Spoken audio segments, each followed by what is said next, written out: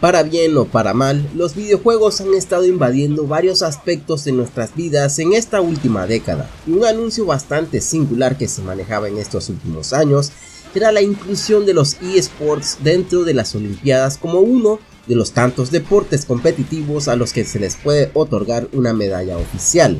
A primeras instancias yo también pensé lo extraño que suena que un tipo jugando videojuegos gane un reconocimiento deportivo en un evento que premia a aquellos que compiten por sus años de entrenamiento físico y estrictas rutinas para desarrollar sus habilidades, hasta que llegué en cuenta que tal vez lo estarán haciendo en un colchón tragándose doritos y una Coca-Cola todo el día, pero los competidores de los eSports también han sacrificado muchos años de su vida en búsqueda de perfeccionar las habilidades hasta el punto de desarrollar una maestría en su especialidad.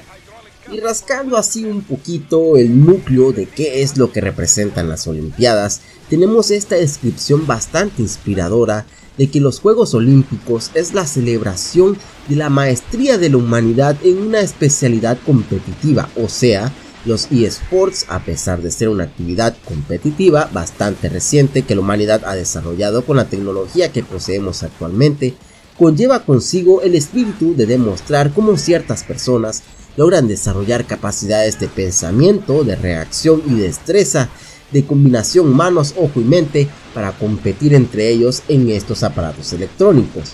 Así que desde mi perspectiva, nuevamente afirmo no hay de qué envidiarle a un físico culturista que mantiene su forma y grandeza corporal con arduos entrenamientos y estrictas dietas a un jugador de Overwatch que pasa horas frente a una pantalla aligerando su tiempo de reacción, indagando sobre su competencia y practicando una y otra vez sus movimientos.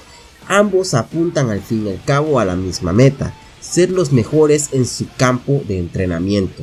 Entonces, en mi opinión, creo que los eSports tienen su cabida dentro de los deportes de las Olimpiadas. Pero no hace mucho el Comité Olímpico Internacional ha expresado su disgusto con esta idea, debido a que los videojuegos son muy violentos.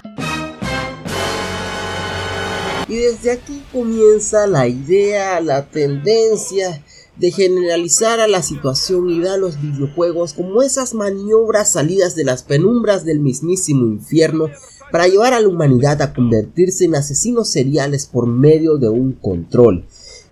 Y bueno, sí, entiendo, entiendo. Las Olimpiadas son vistas por una audiencia masiva que viene desde infantes hasta ancianos y de etnias y culturas muy diferentes. No dudo que alguien vaya a sentirse ofendido por ver a unos tipos jugando a dispararse en campos virtuales o ver a Rainbow Mika dándole las nalgas a su contrincante. Sí, pero hay formas de evadir estas cosas, al menos para este tipo de evento tan multitudinario. Yo creo que cierto nivel de censura es adecuado.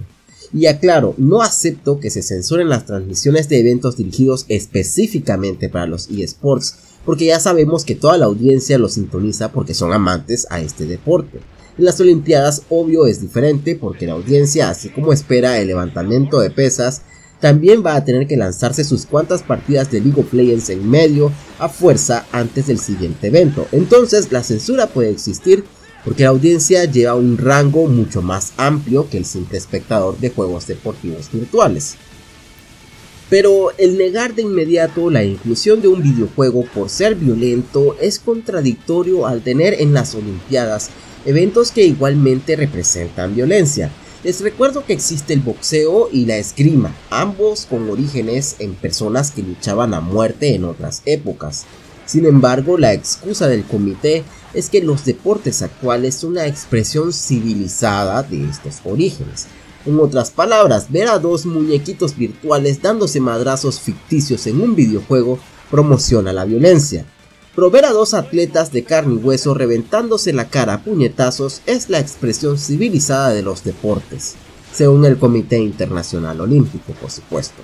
Y entiendo también, entrar a un juego donde tu objetivo es asesinar a tu contrincante disparando con armas realistas puede tener cierto impacto, pero los niños actualmente juegan Grand Theft Auto o Call of Duty sin supervisión y cuántos de ellos se han convertido en asesinos o personas con comportamiento de extrema violencia.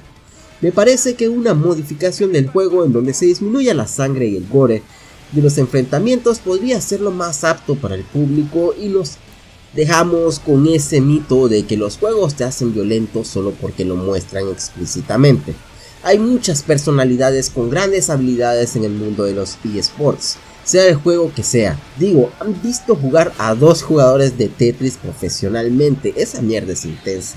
Hay una enorme audiencia que sigue este tipo de deportes y ni decir de que el dinero que mueven tanto competidores, marcas y fanáticos en todo el mundo es simplemente un gane para el Comité Olímpico. Al fin y al cabo, encima de un evento deportivo, las Olimpiadas son un negocio y el dinero mueve montañas. Pero por encima de todo, creo que el mayor gane es el hecho de que los videojuegos pueden ganar terreno y verse como un medio de entretenimiento más aceptado por el público general.